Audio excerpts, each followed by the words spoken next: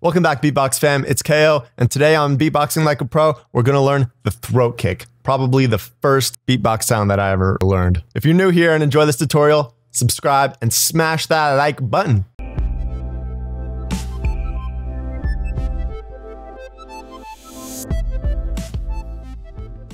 So the throat kick, guys, oh, was the first beatbox sound I learned. I learned it in ninth grade from Party Boy. Uns, uns, uns, uns.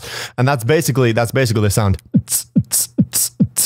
So how do you do this? Remember in another video where we talked about closing off your air passageway?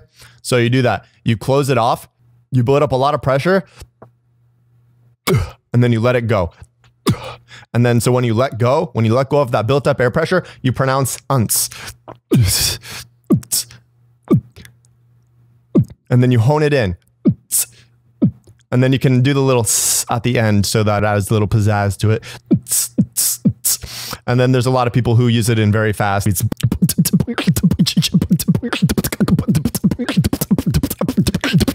Build up the air pressure, release, and go unts. You're on your way to beatboxing like a pro, guys. I'll see you in the next video above. All right, guys?